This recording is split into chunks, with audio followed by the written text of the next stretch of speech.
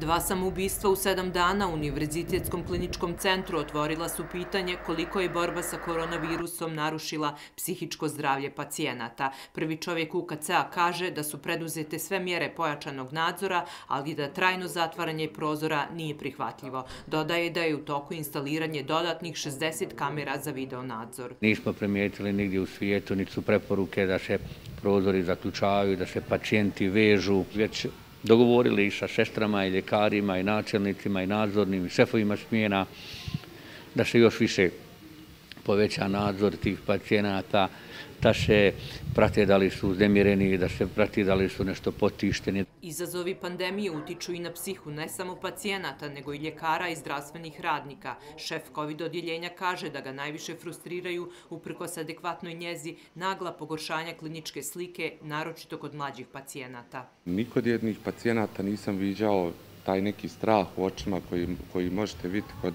pacijenata koji su boljeli od COVID-a. Nastavljeno jedna borba za za zdravlje pacijenta, a druga borba je borba oko tih psiholoških momenta. Ona je, ona je men, za mene lično mislim mnogo, mnogo više iscrpljuje nego, nego ovaj za borba za zdravlje. Dokazano je da COVID izaziva promjene u psihi, dolazi do pada pozitivnih emocija, razvija se strah, strepnja, nesigurnost, osjećaj beznađa i depresija, što dovodi do suicidalnih misli, upozoravaju psiholozi. Ono što je evidentno da mi svakodnevno imamo povećan priliv pacijenata e, u toku pandemije i tek očekujemo, znači kad epidemija, pandemija jednog dana završi, znači očekujemo sve veći priliv ljudi. Povećan je broj ljudi koji su krhki, ranjivi i osjetljivi.